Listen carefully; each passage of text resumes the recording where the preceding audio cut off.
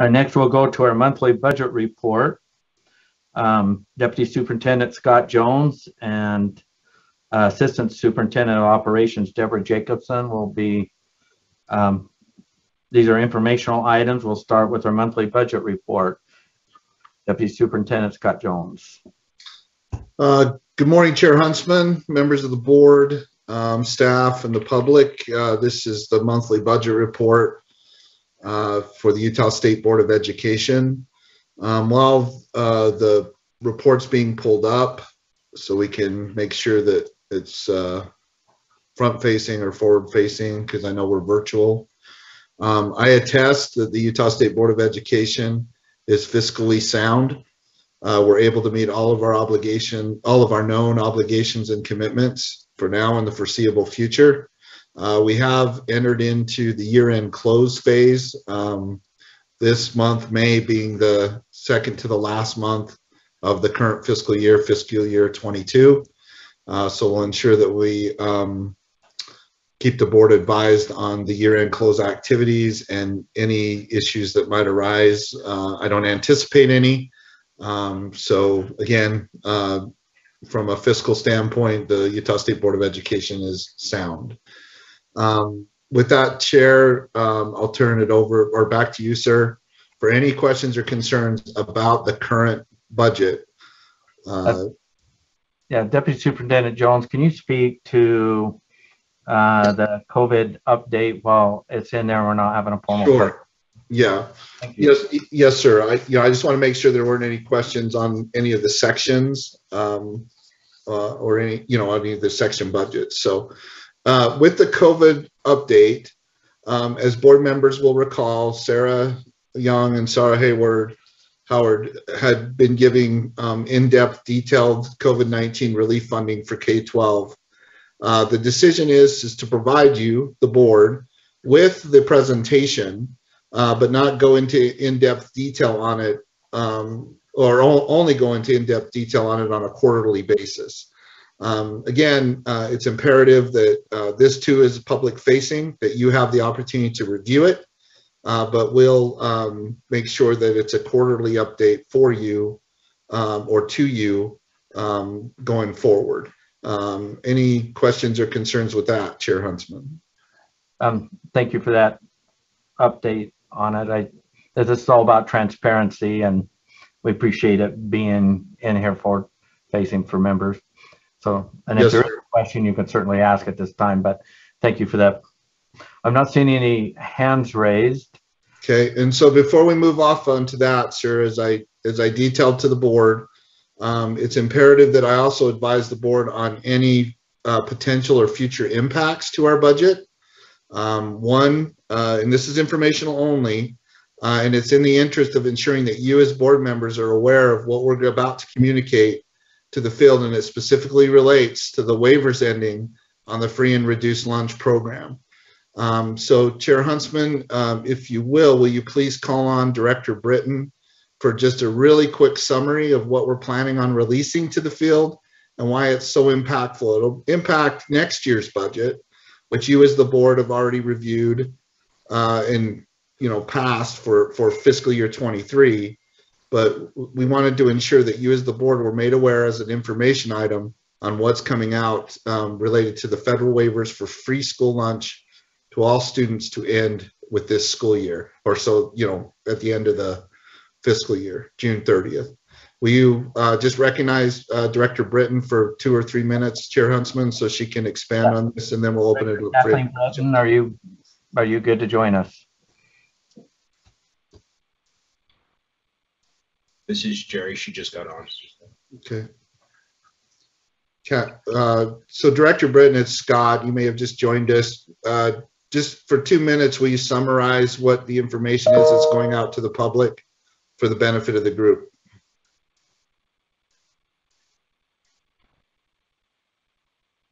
Director Britton?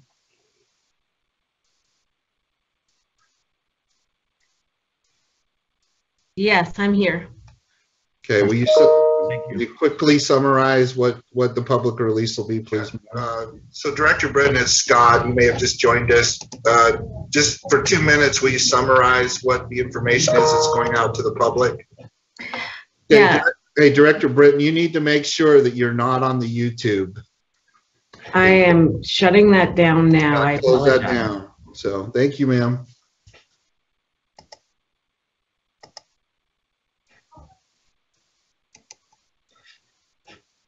Okay. Can you hear me okay now? Yes. Okay. So if you look at some of the notifications that were attached to the board agenda, the first thing is there will be a media release sent out um, next week by Mark Peterson expressing to the general public that all of the 100-plus waivers that were instituted during COVID will be ending. Um, All students will need to start submitting free and reduced lunch applications for next school year. The, um, there is access for the state agencies to submit for waivers due to COVID, if there's a- another COVID outbreak or issues that are related to COVID within individual schools. We have submitted our waivers to our regional office and we're waiting to hear back. Um, The big caveat is there is no more federal, increased federal funding like there was in the prior two years. So as you can see, the funding will go drastically down for these school districts. Um, They have received quite a bit of extra funding throughout the last two years to help during COVID. Uh, Quite a few of them still have over a three-month fund balance that will help get them through this next school year with the transition. Um, We are trying to push this out to make parents aware what's going to be happening. You can also see there's a handout um, that we provided to the LEAs that they can post on their websites and they can pass out to parents. Is there any questions? Que- Questions from board members? Um, Vice Chair Belnap. Yes, Chair, I have two questions. One, um, Director Britton just said that there's funding to help with the transition. I didn't really understand what that meant, how that's going to look. And the other one is maybe just simple on top of that. Is the free and reduced lunch also, has it been the same across the country? And it's stopping all across the country? Okay. The free and reduced waivers that were um, implemented for the last two years were from the USDA nationwide. So as of June 30th, all of those waivers will disappear and they will no longer be available for the school districts. The increased funding they received during the two years, there will be no more increased funding starting the new school year. They will go back to the original reimbursement rate and they will get the higher reimbursement rate. Children will be served meals according to their meal eligibility, paid free or reduced. They did receive extra supply chain assistance funding. They received some emergency um, funding through COVID, like um, ESSER funds, but they received them through USDA. So that should help them through this next year. We have applied for waivers that help them if there's supply chain issues, if there's meal pattern issues, so that if they can't serve certain parts of the meal pattern due to supply chain, they can notify us and we can um, allow them to serve something else. Does that help? Board Uh, member? Yes, thank you, thank you, Chair. Thank you. Um, Member Lear. I had two questions also. I think they're pretty direct. Um, May I address those to um, Director Britton? Yes, please. Uh, My first one is, when you say waivers, I'm not sure what's being waived. Can you just explain that briefly?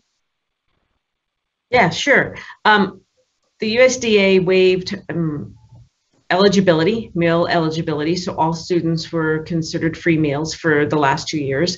They also waived certain issues in the meal patterns, so if they could not get a certain fruit or vegetable. They also waived that you had to be at a school to receive a meal. Parents could pick that up. So there will be no more parent pickup for meals. Students have to be in the building to receive a meal. Great. And then my second question Yeah. is typically, I didn't, and I thought that families did not have to apply every year for the free or reduced status. Do they have to apply every year? I mean, they can't, they can't have a carryover status from what was previously in place before the pandemic? Or is it an annual requirement to apply? Director Britton? It is an annual requirement. Um, it was because of the last two years that everybody received a free me, free meal. They did not have to apply. Thanks. Super helpful. Thank you. Mhm. Uh, Member Norton? All right, took me a second to get off of mute. Um, I too would like to address my question to um, Director Britton, if that's okay with you, Chair. Please. Okay, uh, just one quick question. Are you seeing, anticipating, hearing of price increases um, coming down the pipeline that will affect the price of the student lunch? Um, Thus maybe changing the amounts uh, or, or where the thresholds are for free and reduced lunch to kick in. Director Britton? Let me see if I understood what you're asking. If we are receiving federal reimbursement for the free and reduced, is that what you're asking? Or are you asking for a student that is a paid student?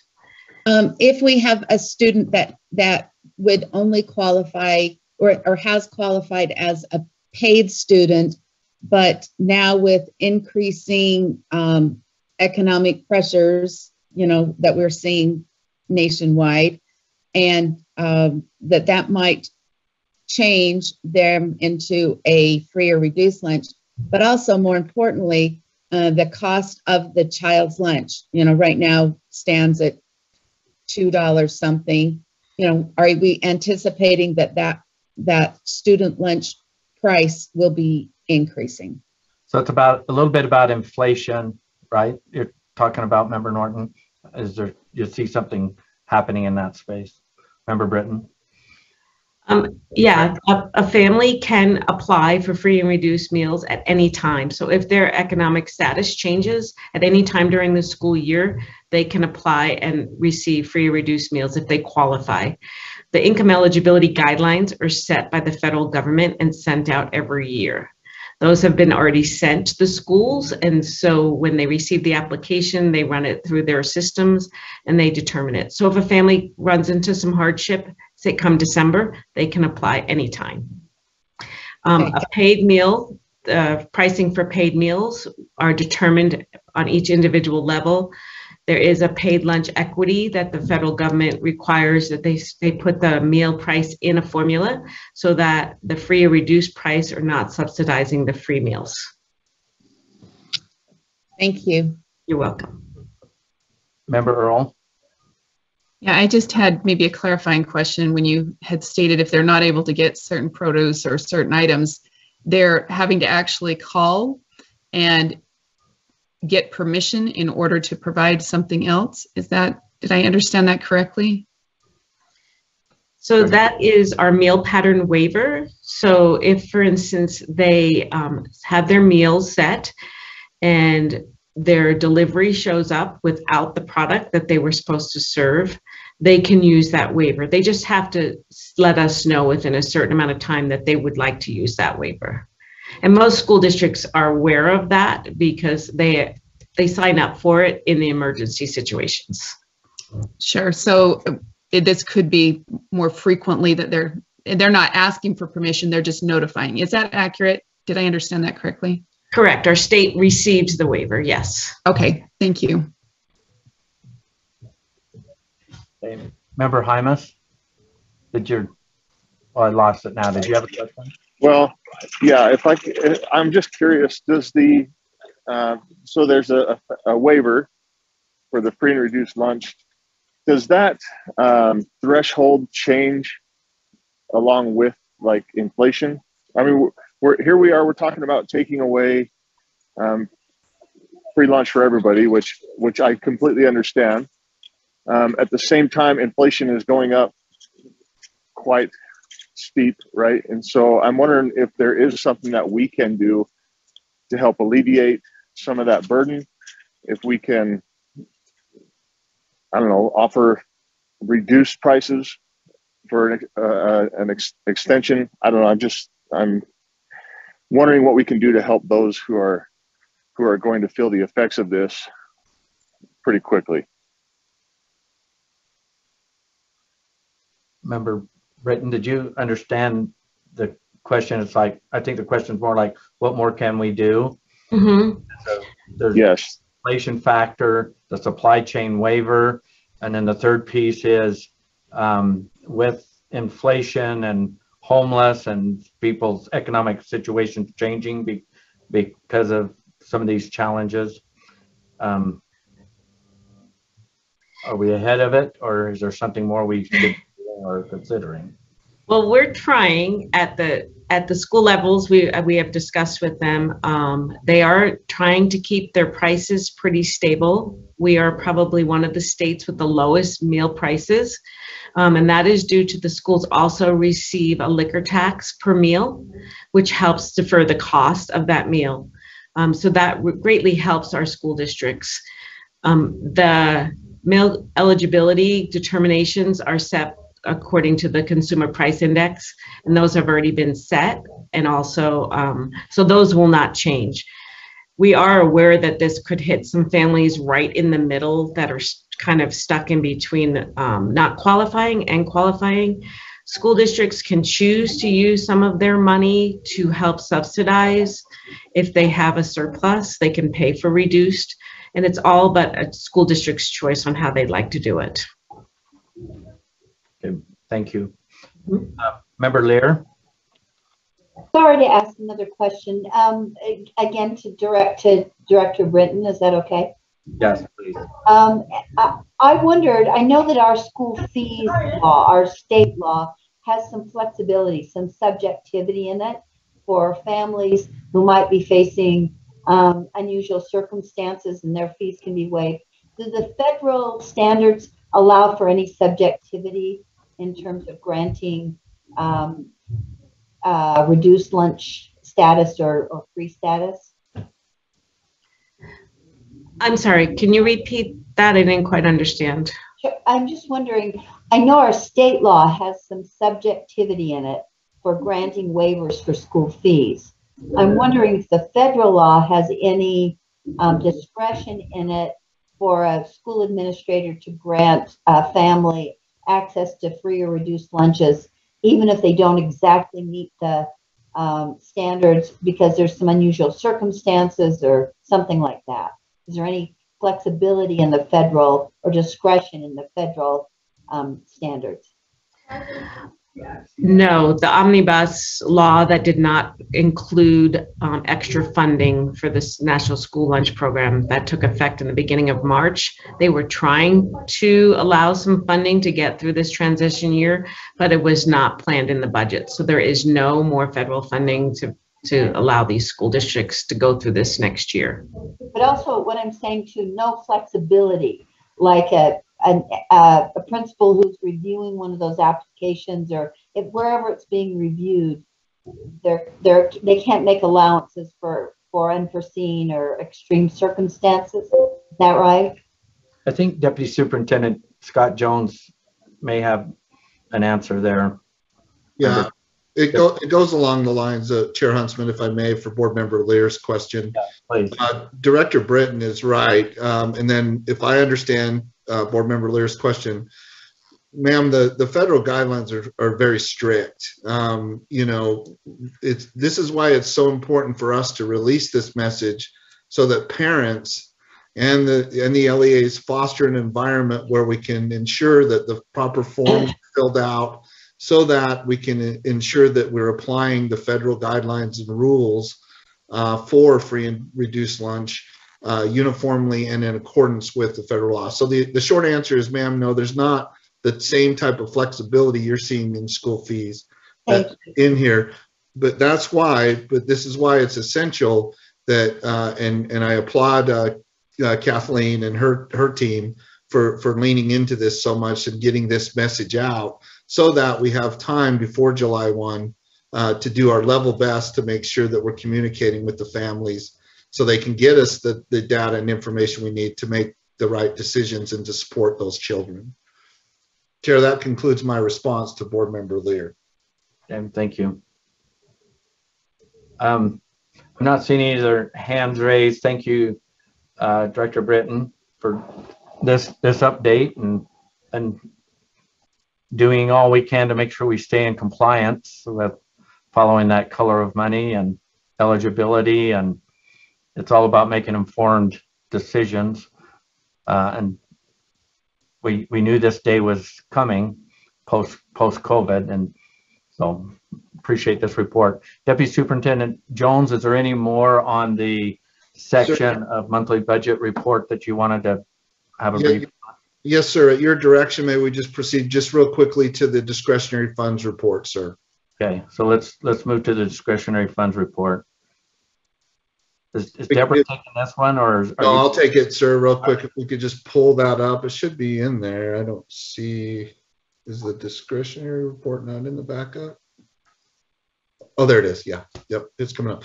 Okay, so real quickly, Chair Huntsman, members of the board, uh, please recall that in the top upper right-hand corner of the report is your remaining balances.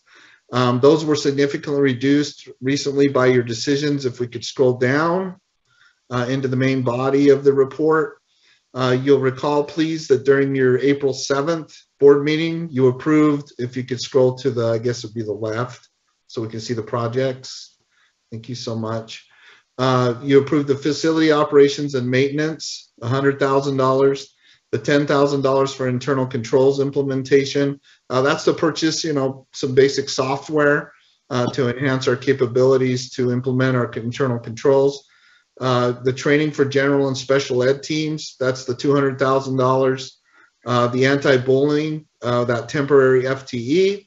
And then the, um, over-the-phone translation services, we're gonna change that title uh, of that project to also be inclusive of the website development for translation services as well. So the next iteration of the discretionary funds report will have um, or recognize that you approve not just phone translation services, but website services as well.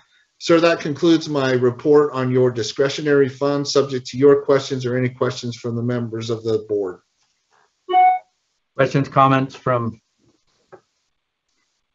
I'm not seeing any. Um, thank you, Deputy Yep. That concludes the monthly budget report item then. Thank you, sir.